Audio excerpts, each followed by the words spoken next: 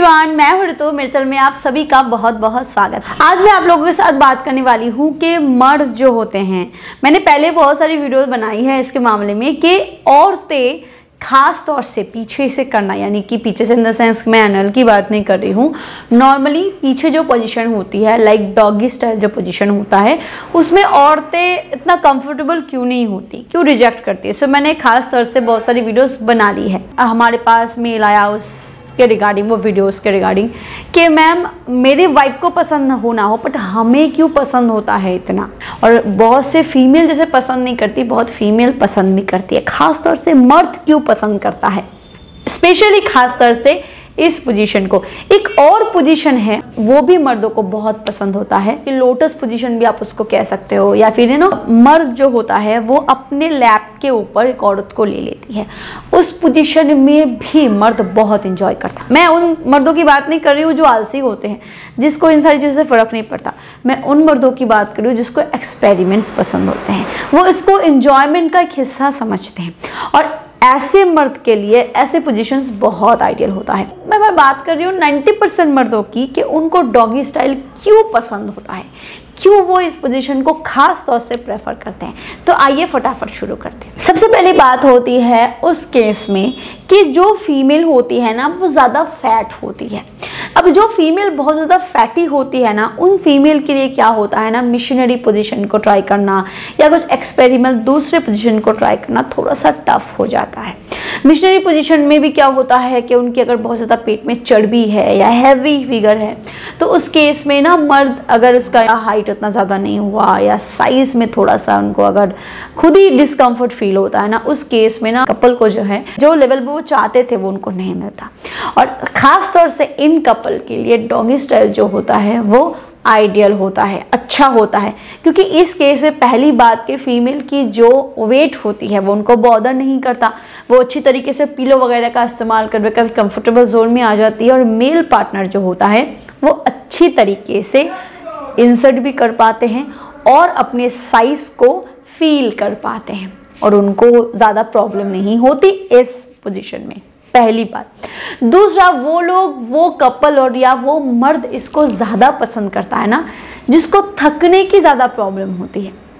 बहुत सारे male partner ऐसे होते हैं जिसको साइज़ की प्रॉब्लम नहीं होती या ना इरेक्शन की प्रॉब्लम नहीं होती। बस उस मेल पार्टनर को ना थकान, बहुत जल्दी थक जाते हैं बहुत से कपल ऐसे बहुत सारे मेल पार्टनर हैं, थकान भी बहुत जल्दी होती है, इस मामले में ना वो जल्दी डिस्चार्ज भी हो जाते हैं। या कर देते हैं। बट कुछ मर्द समझते हैं कि मेरी फीमेल पार्टनर का तो वक्त लगेगा भाई। तो इस केस में मुझे ज़्यादा पिच पे टिक के रहना पड़ेगा। तो इस केस में मेल पार्टनर जो होते हैं, या तो टेबल एंड टॉप पोजिशन को ट्राई करते हैं, या फिर डॉगी स्टाइल पोजीशन को ट्राई करते हैं। क्योंकि इस पोजीशन में मेल पार्टनर कंफर्ट जोन में आते हैं और उनकी बॉडी जो है ना, वो लिफ्टेड नहीं होती। वो अपने आप को बैलेंस करके, अपने वेट को कंट्रोल करके काफ़ी अच्छी तरीके से मूव कर पाते हैं। तीसरा जो कपल होता है, वो होता है कि जिनके बच्चे हो चुके हैं। बहुत सारे कपल ऐसे होते हैं ना, जिनके बच्चे हो चुके हैं और उस केस में ना, अगर वो नॉर्मल बर्थ हुआ तो उस केस में काफ़ी फीमेल की जो प्राइवेट पार्ट होती है, वो थोड़ी उतनी टाइट नहीं होती। थोड़ी सी ढीलापन वो महसूस करते हैं। और इस केस में ख़ास तौर से मेल पार्टनर को उतना अंदर से फीलिंग नहीं आती।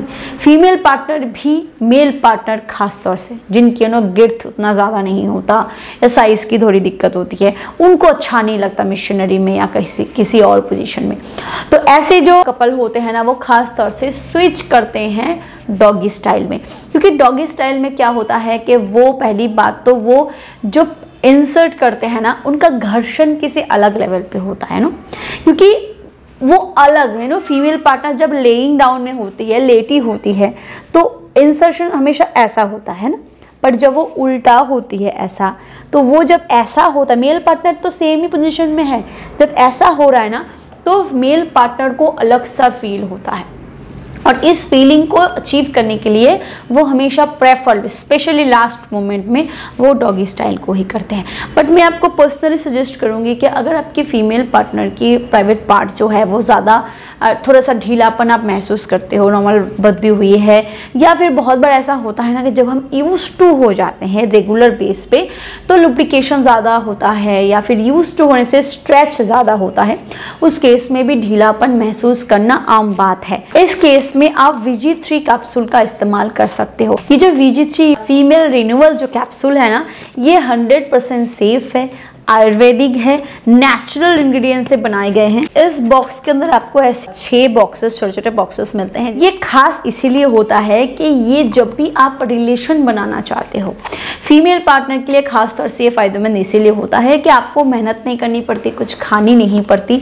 जब भी आप रिलेशन बनाने जाओ या मेल पार्टनर जो होता है, जब भी आप रिलेशन बनाना चाहते हो और फीमेल पार्टनर की प्राइवेट पार्ट थोड़ी सी ढीली आपको महसूस होती है तो बस इसकी जो कैप्सूल्स है ना, वो एक कैप्सूल आपको लेनी है और और अपने उंगली के सहारा लेके आप, आपके फीमेल पार्टनर जो है वो उनके प्राइवेट पार्ट के अंदर बस इसको इंसर्ट कर देना होता है और 10-15 मिनट के लिए थोड़ा सा चाहे तो वो लेट सकती है नॉर्मली लेट रहने से ही अच्छा होता है, अच्छे तरीके से ऑब्ज़र्व हो जाता है। इसमें खास तौर से ऐसे इंग्रेडिएंट्स डाले गए हैं जो आपके फीमेल पार्टनर की या आपके खुद के प्राइवेट पार्ट की जो इलास्टिक होती है इलास्टिसिटी होती है, उसको टोन करती है यू नो ज़्यादा अगर स्ट्रेच हो गई है तो उसको टोन करती है टाइट करने में इंस्टेंट टाइट करने में मदद करती है।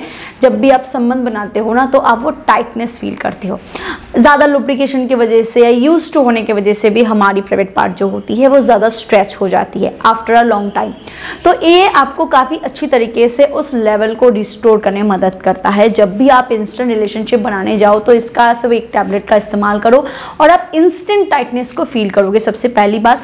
और अगर आपकी फीमेल पार्टनर की प्राइवेट पार्ट को आप हमेशा टाइट फील करवाना चाहते हो, या आप खुद अपने प्राइवेट पार्ट को हमेशा टाइट फील करना चाहते हो तो इसको हर ऑल्टरनेटिव बेस पे या हर रोज़ शुरू में आप कर सकते हो, या फिर हर ऑल्टरनेटिव बेस पे आप रोज़ इसका इस्तेमाल करो। कुछ महीने तक करोगे तो आप खुद फील करोगे। एक तो रिलेशनशिप बनाने के टाइम पे आपको टाइटनेस फील होगी। अदरवाइज़ आप रिलेशनशिप नहीं भी बनाते हो, तब भी आप हर रोज़ सोने से पहले आप इसका इस्तेमाल अगर करते हो तो कुछ महीने में टाइटनेस आप, वो रिस्टोरेशन आप खुद महसूस करोगे कि आपकी प्राइवेट पार्ट धीरे धीरे टाइट हो रही है। कोई साइड इफ़ेक्ट नहीं होता, सारे नेचुरल इंग्रेडिएंट्स हैं। आयुष मंत्रालय सर्टिफाइड है तो इसको लेके एटलीस्ट वो साइड इफ़ेक्ट वाली टेंशन करने की ज़रूरत नहीं है। स्पेशली ये डिजाइंड है फीमेल प्राइवेट पार्ट के लिए।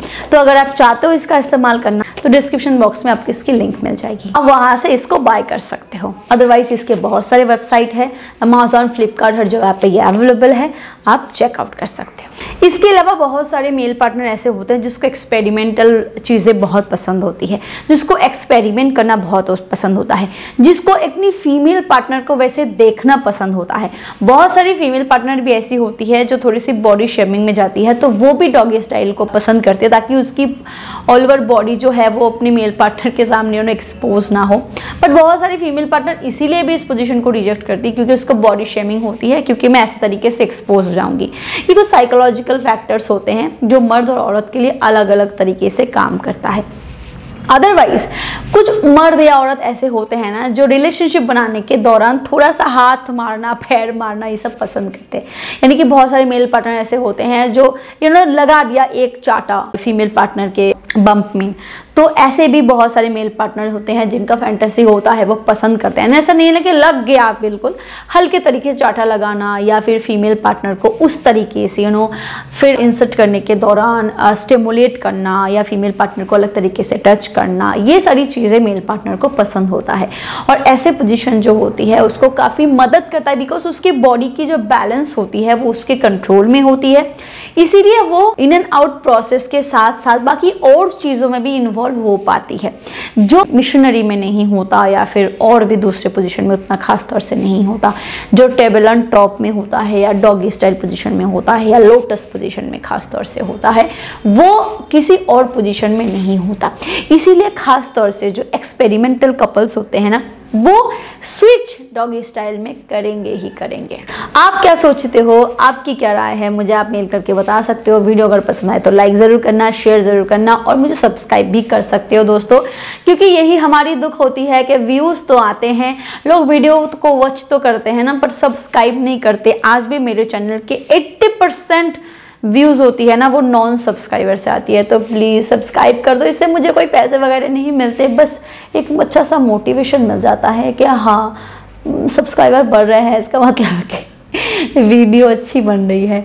खैर, और मुझे अगर आप इंस्टाग्राम पे फॉलो करना चाहते हो तो ज़रूर करना। हर चीज़ की लिंक आपको डिस्क्रिप्शन बॉक्स में मिल जाएगी। बाय